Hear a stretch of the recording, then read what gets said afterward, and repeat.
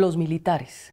Usted decía, hay unos que están con el régimen, claro que sí, con la dictadura, pero hay otros que no. ¿Quiénes son esos otros? ¿Cómo, cómo, cómo se manifiestan? ¿Cómo hacen para que ustedes sepan que hay otra gente que no está de acuerdo y está en las filas? Mira, como, como tú sabes, Vicky, desde hace muchos años yo no solo no puedo salir del país, sino no me dejan agarrar un avión, ni comercial, ni privado, nada. De modo que yo mm, he recorrido mi país manejando mi carro y, y en estos últimos meses de una manera muy intensa. Y muchas veces me mandan a atracar las carreteras, a ponernos alcabalas. Son oportunidades para hablarlos, hablar con los militares o con los policías, escucharlo con los ciudadanos militares. Y lo que yo encuentro es que son hombres y mujeres que, como el resto de los venezolanos, anhelamos un cambio. Tienen esposas, madres, hijas, que no tienen que comer, que no están recibiendo educación, que no tienen salud, que no tienen agua, luz en sus casas, que se les han ido seres queridos mm.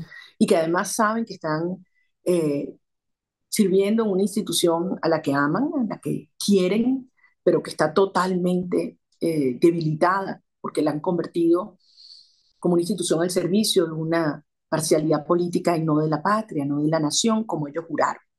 Y, y, esto es tan así que, como te decía, el día de la elección vimos cómo la inmensa mayoría de los centros de votación, los eh, efectivos del Plan República contribuyeron al, al, pacífico desarrollo del proceso y a que obtuviéramos las actas.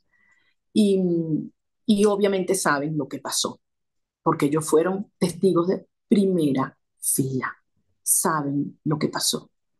En muchos centros de votación donde hay alta concentración de militares, el mundo arrasó como el resto de los centros de votación. De modo que aquí no hay dos Venezuelas. Eso es lo que Chávez intentó hacer y Maduro exacerbar.